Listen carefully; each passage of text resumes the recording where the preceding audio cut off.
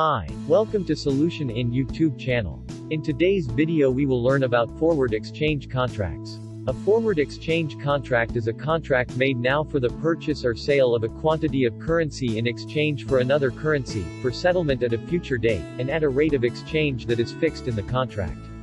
A forward contract therefore fixes in advance the rate at which a specified quantity of currency will be bought and sold. The purpose of a forward contract is to fix an exchange rate now for the settlement of a transaction at a future date. This removes uncertainty about what the exchange rate will be at the future date. Currency risk is a two-way risk. By arranging a forward contract, a company can hedge against the risk of an adverse movement in the spot exchange rate up to the date of settlement, but at the same time it loses the opportunity to gain from a favorable movement in the spot rate. Forward exchange rates are determined by the current spot rate and differences in inflation rates between the two currencies. A forward exchange rate may be higher or lower than the spot rate. When a currency is more expensive forward than spot, it is quoted forward, at a premium to the spot rate.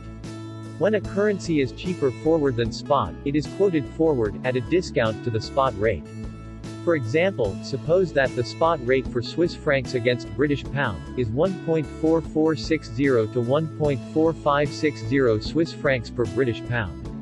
A bank would sell 20,000 Swiss francs at the spot rate now for 13,831.26 British pound. Under a forward contract for settlement in 3 months time for 13,623.98 British pound. Assume the 3-month forward rate is 1.4680 to 1.4800 Swiss francs per British pound. A bank would buy 20,000 Swiss francs at the spot rate for 13,736.26 pounds. Under a forward contract for settlement in 3 months time for 13,513.51 pounds. In both cases, the quoted currency, Swiss franc, would be quoted forward at a discount to the spot rate. Forward exchange contracts are legally binding contracts. They hedge against transaction exposure by allowing the importer or exporter to arrange for a bank to sell or buy a quantity of foreign currency at a future date, at a rate of exchange determined when the forward contract is made. The trader will know in advance either how much local currency they will receive, if they are selling foreign currency to the bank, or how much local currency they must pay, if they are buying foreign currency from the bank. Forward contracts are very popular with small companies as a method of hedging currency risk and taking away uncertainty about the exchange rate. The current spot price is irrelevant to the outcome of a forward contract. Let's take an example. A UK importer knows on the 1st of April that they must pay a foreign seller $26,500 in one month's time, on the 1st of May.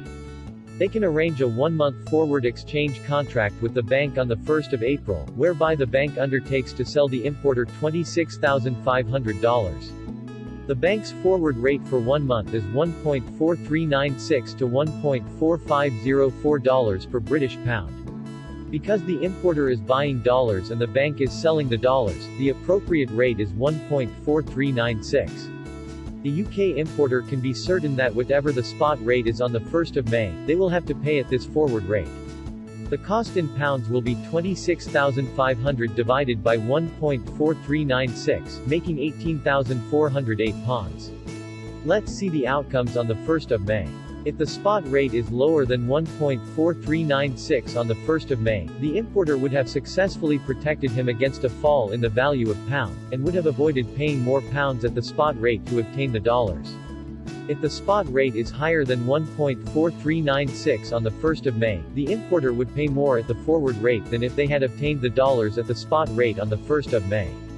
You cannot avoid this extra cost because a forward contract is binding. By now we have covered how forward contracts work. If this video was helpful, please hit the like button and don't forget to subscribe. See you in next video. Take care.